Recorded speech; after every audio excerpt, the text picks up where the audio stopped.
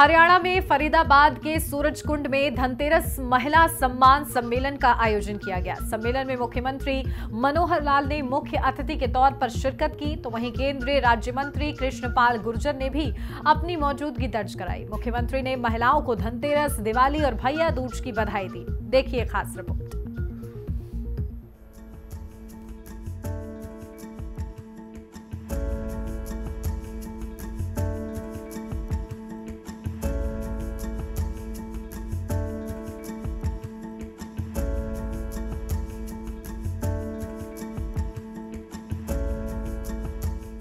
हरियाणा के सूरजकुंड में धनतेरस के मौके पर धनतेरस महिला सम्मान सम्मेलन का आयोजन किया गया। इस सम्मेलन में हरियाणा के मुख्यमंत्री मनोहर लाल ने मुख्य अतिथि के तौर पर शिरकत की। वहीं केंद्रीय राज्य मंत्री कृष्णपाल गुर्जर ने भी अपनी मौजूदगी दर्ज कराई। यहाँ भारी संख्या में पहुँची महिलाओं ने हरियाणा के लोक गीतों पर नाचकर अपनी खुशी ज़ाहिर की।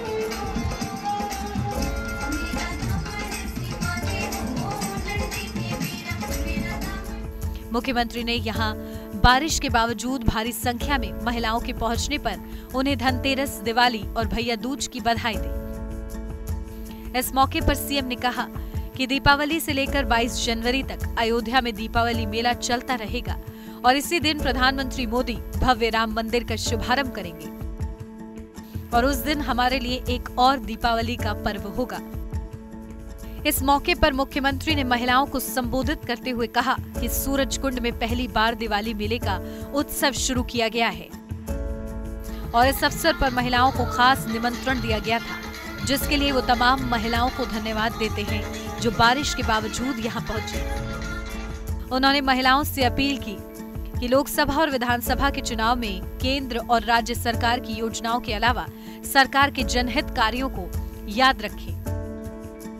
लोकसभा में मोदी जी के चुनाव के बाद हरियाणा का विधानसभा चुनाव भी आएगा। उस समय आपको इस भाई को भी याद रखना है। दीप दिवाली का जो मेला, ये पहली बार शुरू किया गया था। तीन नवंबर को शुरू किया था इसको और आज इस रूम में, एक इस दिवाली मेले के अवसर पर बहनों को पुनः आज निमंत्रण दिया गया था। इस अवसर पर तो मैं आपको इतना ही आभार प्रकट करता हूँ कि आप इतनी बड़ी संख्या में वर्षा के समय यहाँ उपस्थित हुई। अभी आपको जाते समय एक, जैसे हमने उस दिन तीज के दिन एक थैला दिया था, आज उसी प्रकार से आपको यहाँ को एक दीपक मिलेगा, आपको यहाँ एक कैलेंडर मिलेगा, अन्य जो सामान मिलेगा, आपको अपने साथ लेकर जाना है। इस दीपक का उपयोग दीप माला की तरह हम जो दिवाली का जो मेला आज हो रहा है, यहाँ आज हम कर रहे हैं। अयोध्या में हमको मालूम है, आज से शुरू होकर और 22 जनवरी तक ये मेला लगातार चलने वाला है। भगवान रामचंद्र जी के जन्म स्थान पर और उस दिन प्रधानमंत्री जी स्वयं उस मेले का एक प्रकार से उस भगवान राम के मंदिर का और उद्घाटन करेंगे, वो दिन हमारे लिए एक और नई दिवाली होगी तो उसके लिए भी मैं आपको अग्रिम बहुत बहुत बधाई देता हूँ। वहीं केंद्रीय राज्य मंत्री कृष्णपाल गुर्जर ने कहा कि सरकार महिलाओं के आर्थिक और सामाजिक उत्थान के लिए काम कर रही है। उन्होंने कहा, अगर महिलाएँ समृद्ध होंगी तो भारत भी समृद्ध होगा। उन्होंने कहा कि महिलाओं का आर्थिक सशक्तिकरण देश के विकास को बढ़ावा देगा। उन्होंने कहा कि बीते नौ वर्ष में केंद्र और प्रदेश की सरकार ने महिलाओं का आर्थिक सशक्तिकरण किया है। उन्होंने कहा कि सरकार द्वारा महिलाओं को मुफ़्त सिलेंडर देने की बात हो, चाहे मुद्रा लोन की बात हो या फिर प्रधानमंत्री आवास योजना के तहत घर देने की बात हो, ये सब महिलाओं के उत्थान को लेकर भाजपा ने काम किया है। उन्होंने कहा कि देश और प्रदेश को समृद्ध बनाने के लिए हमें महिलाओं को समृद्ध बनाना ही होगा।